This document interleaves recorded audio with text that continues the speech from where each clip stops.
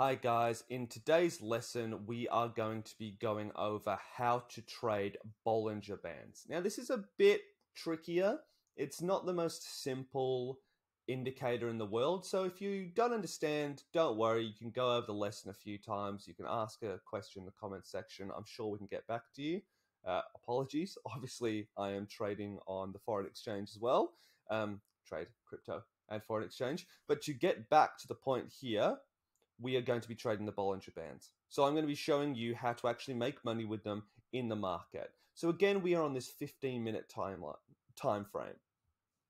But if we go to the indicators tab and we find Bollinger Bands, let's quickly just go over what they are, what they actually mean, and what we're going to look for. We won't spend a lot of time on this because I want to really just get stuck into how we can trade it.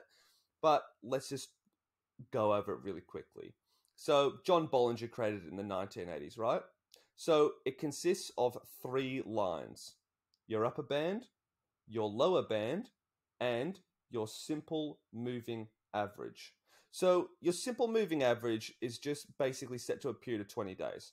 Historical data, the last 20 days, what's going on? What is the moving average? What is the average of the markets when it's moving? And the upper and lower bands just basically measure the volatility. So obviously, as the market goes up, the bands go up, and when the markets go down, the bands go down. And basically, what it's showing you is that when it breaks out of these bands, it basically shows you whether it's oversold or overbought, right? So if we go down here, we can see that what to look for high and low prices. When prices move up near the upper bands or even break through the upper band, many traders would see that security as being overbought. And it's the same with crypto coins as well. And obviously, vice versa. When it breaks through these lines, it's obviously oversold. So we would go in for a buy. So, what can we see here if this is going to allow us to actually have a look at what's going on? Which it should. Apologies, guys. Give me one second to see if I can find it. No, I believe it's somehow. There it is. Cool. All right. So if we zoom in on this example here, this is what we can see. So the price starts right around the SMA, this line right here, and then begins to drift down towards the lower band. Price eventually breaks through the lower band and can be seen as oversold conditions and therefore a buy opportunity. Price does indeed rise back towards the SMA. So let's see what that looks like in the markets in real time. Obviously, the market's just moving around, it's just doing its thing, and then all of a sudden, we get this.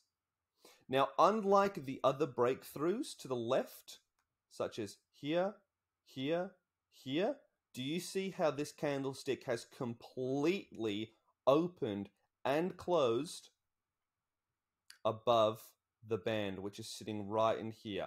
That is what we are looking for, guys. Note how far away the SMA is as well. So what would we do? We're going for a short. We put our stop loss right at the top of that wick, and then we try and find exactly where the SMA is right there, which is a 1 to 2 we can see within half an hour we make it. We make that one to two. It's a perfect example. Let's continue and go over and see what's happening again. Wait for another example to occur. Now, it might take some time, mind you. But again, what can we see here? This candlestick, one, two. Do you see how the one that we hopped in was fully above, nothing was touching it. Like there's a small wick there before it started to drop down, right? But here we can still see that it's slightly in this area here. We want it to be fully out from the candlestick. So what do we do? We hop into a short position. We put our stop loss here, and then we'd aim all the way down here. Now, this one might not actually get it. This is a very extreme example. This is a 7.87. And what we can see is this trend is extremely strong. You really do not want to be hopping in when the trend is extremely strong because it can still go up. it's still a lot more likely to go up. When the market is not as volatile and is not as producing as many huge candlesticks, that's the ideal conditions to go in. Because let's see what happens here. Again, we get taken out straight away. So there's more to look in the markets than just saying, hey, what's going on? You also have to look at the market conditions. Now you can see that the market is slightly slowing down. The SMA is catching up, right? It's not as volatile.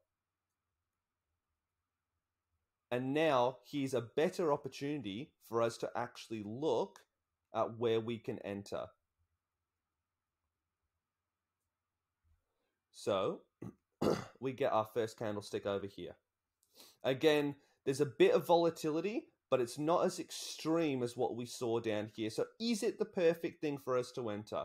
Maybe not, but let's just see and have a look. We remember that not all trades are going to be winners. So we put that there. We aim for our risk to reward to be where the SMA is at that time.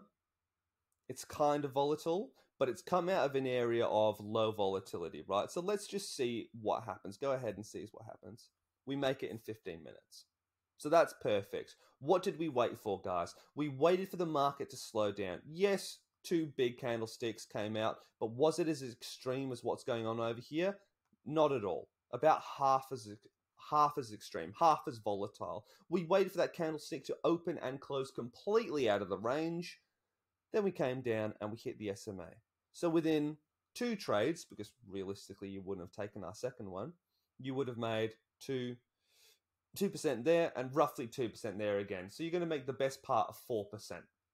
So that's what you want to look for when you're using Bollinger Bands, guys. So hopefully that makes a lot of sense to you. If not, again, you can leave a your question in the comments section and then we can get back to you at a later point. Until then, guys, stay tuned. I know we're going to bring out a whole lot more stuff for you to trade on and uh, stay safe and enjoy the rest of your day. Okay, bye, guys.